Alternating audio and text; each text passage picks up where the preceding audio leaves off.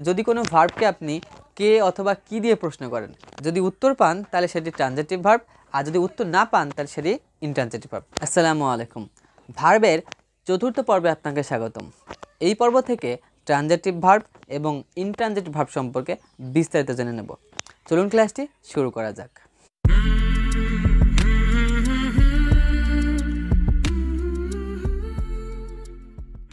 প্রথমে আমরা transitive verb সম্পর্কে জেনে নেব। খেয়াল করুন, যে সকল ভার্বের অর্থ সম্পন্ন করতে অবজেক্টের প্রয়োজন হয়, তাকে ট্রানজেটিভ ভার্ব বলা হয়।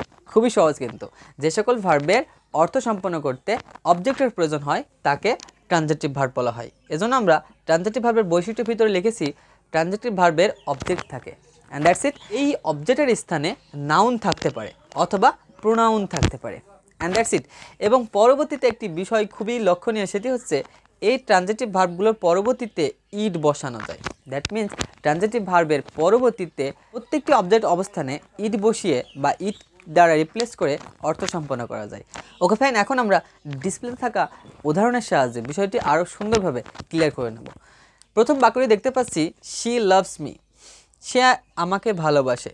সি হচ্ছে সাবজেক্ট লাভ হচ্ছে ভার্ব মি হচ্ছে অবজেক্ট প্রথম কথাই অবজেক্ট থাকলে সেটি ট্রানজেটিভ ভার্ব সুতরাং লাভস একটি transitive verb and that's it object অবস্থানে কি আছে? অবজেক্ট অবস্থানে প্রোনাউন আছে। মি একটি প্রোনাউন তার মানে এটি অবশ্যই অবশ্যই ট্রানজেটিভ ভার্ব পরবর্তী বাক্যটি খেয়াল করুন।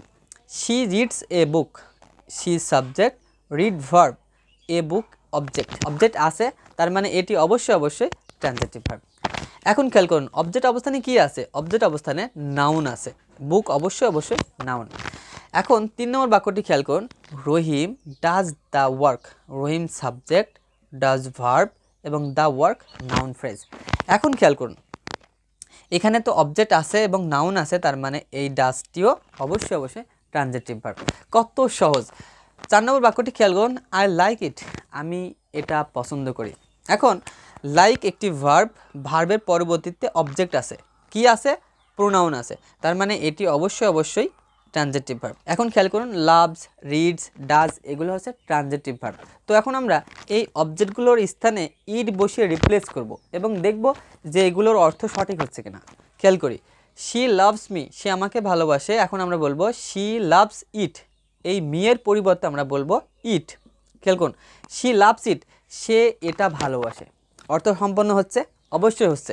অর্থাৎ এই লাভ ভার্বটি ট্রানজেটিভ ভার্ব খুবই সহজ কিন্তু। পরবর্তী বাক্যটি খেয়াল করি। শি রিডস এ বুক সে একটি বই পড়ে। আমরা এই এ বুকের পরিবর্তে ইট বলব। তাহলে খেয়াল করি।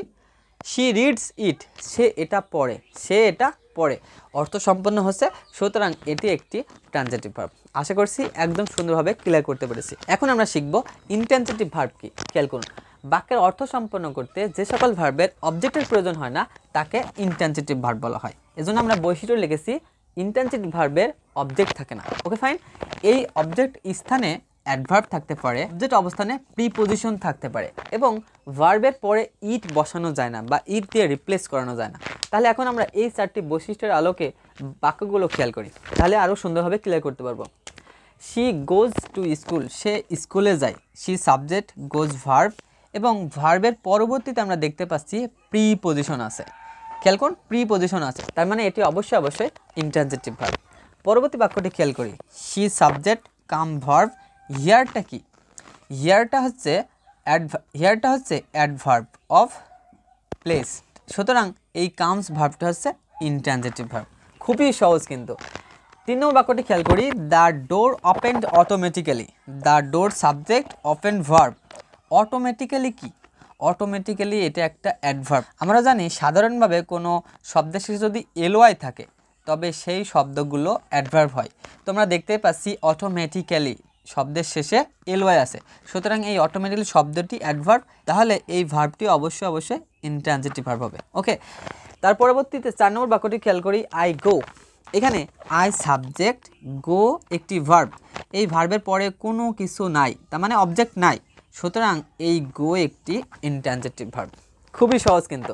তাহলে আমরা এখানে শিখতে পারলাম অবজেক্ট থাকে না অ্যাডভার্ব থাকতে পারে। প্রিপোজিশন থাকতে পারে। এখন চার নম্বর বৈশিষ্ট্য, ইট বসানো যায় না। এই বিষয় নিয়ে একটু কথা বলব। আই গো এই বাক্যে এখন আমরা বলব I go it I go ইট এটার অর্থ করার চেষ্টা করুন আই গো ইট আমি যাই এটা। এটার অর্থ সম্পূর্ণ হচ্ছে না। সুতরাং এখানে ইট বসে রিপ্লেস করা যাচ্ছে না। সুতরাং এই ভার্বটি অবশ্যই অবশ্যই intransitive verb she goes to school এখন আমরা টু স্কুলের পরিবর্তে কি লিখব? ইট লিখব। খেয়াল করুন টু স্কুলের পরিবর্তে ইট লিখতে চাচ্ছি। তাহলে she goes it she goes ইট সে যায় এটা, হচ্ছে? এটার অর্থ সম্পন্ন হচ্ছে না, সুতরাং এটি একটি intransitive verb she comes here সে এখানে আসে। এই বাক্যে আমরা যদি বলি শি কামস ইট সে আসে এটা। অর্থ সম্পন্ন হচ্ছে না। সুতরাং এটি একটি ইন্ট্রানজেটিভ ভাব দেখুন, কত সহজেই কিন্তু আমরা এই বিষয়গুলো ক্লিয়ার করতে পারলাম। তাছাড়া আরও একটা ওয়েতে আপনি ট্রানজেটিভ ভার্ব এবং ইন্ট্রানজেটিভ ভার্ব চিনতে পারবেন। সেটি হচ্ছে যদি কোনো ভার্বকে আপনি কে অথবা কি দিয়ে প্রশ্ন করেন। যদি উত্তর পান, তাহলে সেটি ট্রানজেটিভ ভার্ব আর যদি উত্তর না পান, তাহলে সেটি intransitive verb she loves me সে আমাকে ভালোবাসে। এখন আমি যদি বলি, সে কাকে ভালোবাসে? আমাকে ভালোবাসে। তার মানে কে বা কাকে দিয়ে প্রশ্ন করলে উত্তর পাচ্ছি? সুতরাং এটি transitive verb she reads a book সে বই পড়ে। আমি যদি প্রশ্ন করি, কি পড়ে? বই পড়ে। তার মানে উত্তর পাচ্ছি, সুতরাং রিডস একটি ট্রানজেটিভ ভার্ব এখন আমরা এখানে একটু খেয়াল করি শি গোজ টু স্কুল সে স্কুলে যায়। আমি যদি প্রশ্ন করি, কি যাই হচ্ছে না। কি যাই উত্তর হচ্ছে না। আমি যদি বলি, কাকে যাই তা উত্তর হচ্ছে না। তার মানে এটি intransitive verb she comes here সে এখানে আসে। সে এখানে আসে। আমি যদি প্রশ্ন করি, কি আসে? উত্তর আসে না। আমি যদি বলি, কাকে আসে? উত্তর আসছে না। সুতরাং এই comes ভার্বটি intransitive verb and that's it এগুলো ছিল ট্রানজেটিভ ভাব এবং ইনট্রানজেটিভ ভাবের একদম বেসিক নলেজ এখন আমরা এই বেসিক নলেজের উপর ডিপেন্ড করে কনফিউজিং যে ওয়ার্ডস আছে, যেমন রাইজ রেইজ লাই লে সিট সেট এই ভার্বগুলোর ব্যবহার খুব সহজে করতে পারব। কারণ আমরা যদি এই ভার্বগুলোর ভিতরে কোনগুলো ট্রানজেটিভ এবং কোনগুলো ইনট্রানজেটিভ তা চিনতে পারি, তাহলে খুব সহজেই এইগুলোর ব্যবহার আমরা করতে পারব। এখন আমরা এই ভার্বগুলোর ভিতরে কোনগুলো ইনট্রানজেটিভ সেগুলো জেনে নেব। খেয়াল করুন, রাইজ, লাইজ, সিট, এই তিনটি ভার্ব হচ্ছে ইনট্রানজেটিভ। এখন এই ভার্বগুলোর ভিতরে এই তিনটি ভার্ব যে ইনট্রানজেটিভ, তাও কিন্তু আপনি খুব সহজে মনে রাখতে পারবেন। খেয়াল করুন, রাইজের দ্বিতীয় বর্ণ হচ্ছে আই, লাইয়ের দ্বিতীয় বর্ণ হচ্ছে আই, সিটের দ্বিতীয় বর্ণ হচ্ছে আই।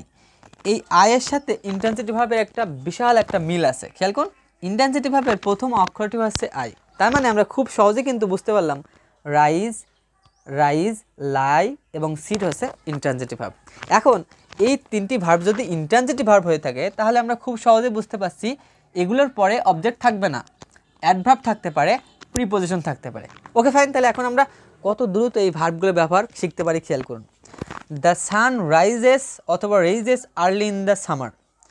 Rise নাকি রেইজ হবে? খেয়াল করুন, এই ভার্বগুলোর পরবর্তীতে অ্যাডভার্ব আছে। আর্লি একটা অ্যাডভার্ব অফ টাইম, তার মানে এখানে অবশ্যই অবশ্যই ইন্টেন্সিটি ভার্ব বসবে। আর আমরা জানি রাইজ এবং রেইজ থেকে ইন্টেন্সিটি ভার্ব কোনটি? এটা, তার মানে এটার অ্যান্সার হবে রাইজেস। দেখুন কত সহজ। ওকে, ছয় নম্বর বাক্যটি খেয়াল করি। প্রাইস হ্যাভ রিজেন অথবা raised more than ten percent in a very short time risen অথবা রেইজডের পরে কি আছে? এখানে অ্যাডভার্ব আছে মোর একটি অ্যাডভার্ব তার মানে আমরা বুঝতে পারছি এখানে আমাদের ব্যবহার করতে হবে intransitive verb so intransitive verb rise rose risen এই ভার্বটা হবে অ্যান্সার দেখুন কত সহজ ওকে দ্য ইউনিভার্সিটি লাইস অথবা lays in the western section of town এই ভার্বগুলোর পরবর্তীতে কি আছে? প্রিপোজিশন আছে। সুতরাং এটা ইন্টেন্সিটিভ ভার্ব নিতে হবে আনসার তাহলে ইন্টেন্সিটিভ ভার্ব হিসেবে আমরা জানি লাই এবং লে থেকে ইন্টেন্সিটিভ ভার্ব হচ্ছে লাই সুতরাং এটার অ্যান্সার হবে lies okay we are going to sit অথবা set in the fifth row okay এখানে খেয়াল করুন ভার্বগুলোর পরবর্তীতে আমরা দেখতে পাচ্ছি প্রিপোজিশন আছে। তার মানে এখানেও আমাদের ইন্টেন্সিটিভ ভার্ব লাগবে সিট দেখুন, কত সহজে আমরা এগুলোর ব্যবহার করতে পারছি। দ্য স্টুডেন্টস রাইজেস অথবা রেইজেস দেয়ার হ্যান্ডস খেয়াল করুন রাইজ অথবা রেজেসের পরবর্তীতে আমরা দেখতে পাচ্ছি কমপ্লিমেন্ট আছে বা অবজেক্ট আছে। তার মানে এখানে বুঝতে পারছি এটি একটি ট্রানজেটিভ ভার্ব আর রাইজ এবং রেইজ থেকে ট্রানজেটিভ ভার্ব কোনটা সেটা আমরা খুব সহজেই বুঝতে পারছি। এটা হবে আমাদের transitive verb the OPEC countries have risen অথবা raised the price of oil খেয়াল করুন, এই ভার্বগুলোর পরবর্তীতে আমরা দেখতে পাচ্ছি নাউন ফ্রেজ আছে।